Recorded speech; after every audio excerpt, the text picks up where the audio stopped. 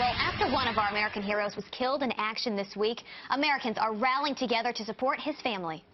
A GoFundMe page created for the family of Staff Sergeant Mark De Alencar had a goal of raising $15,000. And now, thanks to you, thanks to Fox and Friends viewers, we have raised more than 200. You have raised more than $250,000, far exceeding the $15,000 goal. Unbelievable. Here with us now is the uncle of the fallen Green Beret, Jansen Robinson. Jansen, good to have you here. Good to be here. And really sorry for your loss and what your family's been through. Tell us first and foremost about Mark, the man that he was. Mark was a family man. I mean, uh, when he started dating my uh, niece, uh, they had a blended family, and he adopted her two kids. And so he, that to me, uh, despite everything else, uh, demonstrated the kind of person that he was. And tell me, tell me about his service. What did it mean for him to, to wear the uniform of our country? Well, Mark was uh, a member of the military. He got out and he wanted to rejoin.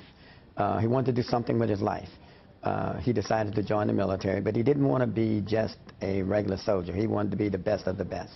So uh, he uh, decided to earn the opportunity to join the Special Forces. I was reading a story about when people told him that he had to lose weight. What did yes. he do? Well, Mark would, uh, he would, he had a book, a uh, backpack.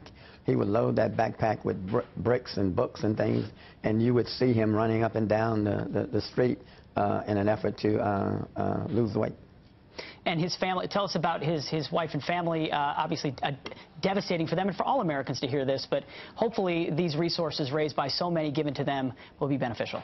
Of course it will. I mean, you know, while they won't um, or can't replace or take the place of Mark, yeah. but they will help uh, the road ahead uh, a little easier uh, uh, for, for that family. So this GoFundMe page asking for $15,000. What is it now at nearly $250,000? And a huge thank you to, to our own viewers, many of which uh, came pouring in from them after it was on the show. Do you have a message for, for so many people who donated?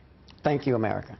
Thank you for uh, understanding and realizing the sacrifice that Mark has made and many other young men have made in, in support of their mission.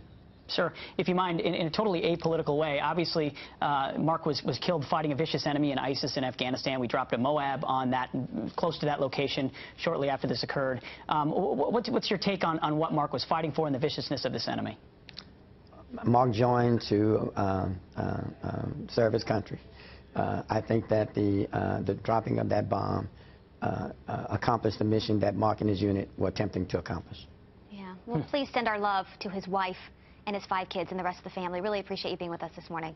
Thank you. Thank Anthony you. Robinson. All right, and to donate, go to the GoFundMe page and search uh, Staff Sergeant Mark De Alencar. That's right. Or you can go to foxandfriends.com, click on the link, and, uh, and donate as well. Yeah.